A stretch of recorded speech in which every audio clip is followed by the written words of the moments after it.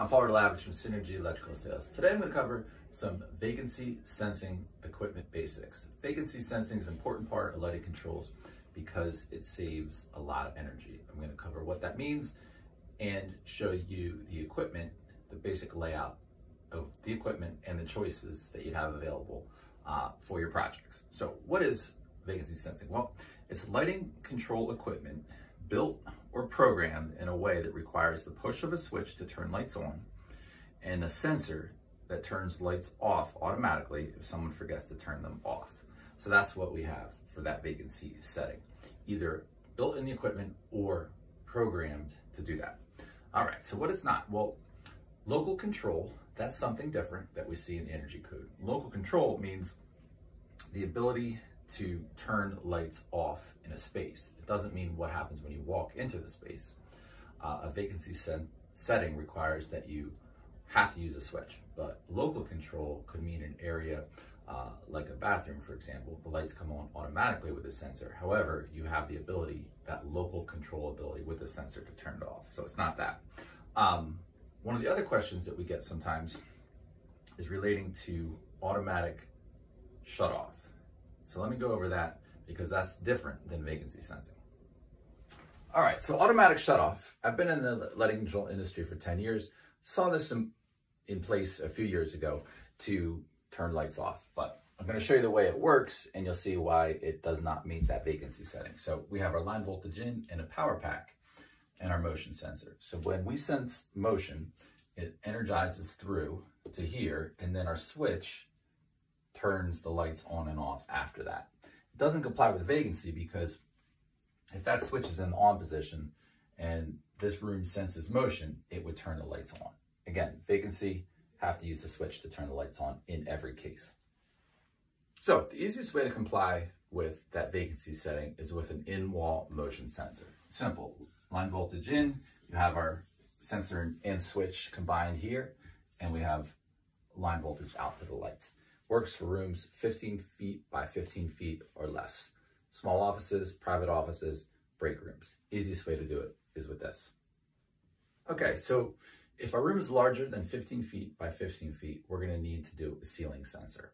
And this is the way that we can accomplish that vacancy setting with a momentary switch. So we have line voltage into our power pack. Again, we have our motion sensor, but for the lights to come on, we just have a simple momentary switch here. Hit the momentary switch, lights go on.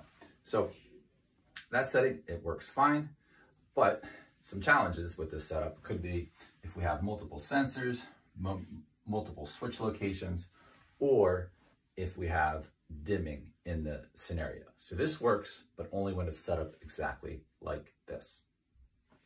All right, so if the momentary switch, if you have a more complicated installation, then what's next can be helpful is uh, a smart power pack that we can use to accomplish the vacancy sensing. So again, we have our line voltage in to what I'm calling our smart power pack. Now I didn't connect the lines because we have a combination of systems that use wireless and wired communications. So uh, I work with the Lutron equipment a lot. They've, they have their Vive components, which are wireless. So we have our power pack here, wireless sensor. But nevertheless, if you might have a low voltage to here, and then a low voltage to there. So that's the simple setup with it.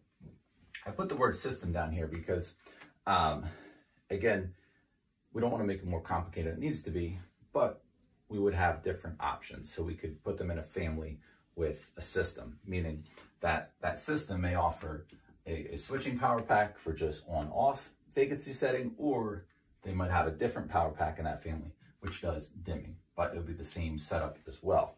And then the nice thing about the system or even that wireless part is let's say we had two switches, right? Two power packs.